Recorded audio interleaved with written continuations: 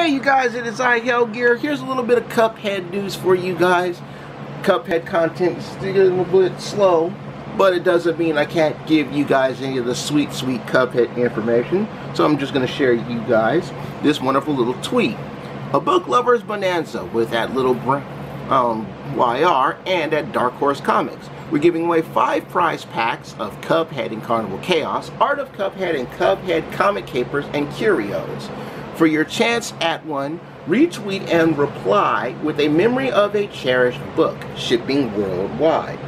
So, you have until October 20th to get it on this little tweet right here that they have and win you a prize pack. I want to wish all of you the best of luck. Now, to those of you who don't know about the art of Cuphead, I recently showed off the art of Cuphead.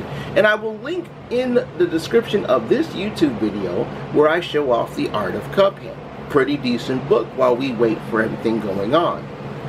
So, that being said, if you guys have read any of the uh, Carnival Chaos or Comic Capers and Curios, or if you have the Art of Cuphead, let me know what you think of each of these in the comments section below.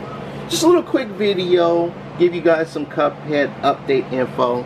But for now, I take my goose from the oven because I'm done. The boy Hellgear signing off.